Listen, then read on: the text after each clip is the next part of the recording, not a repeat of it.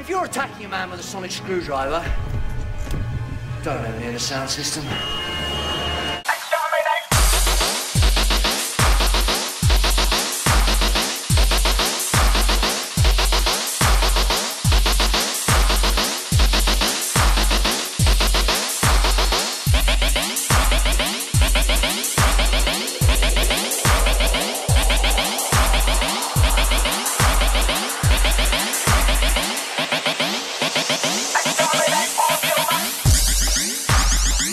Thank you.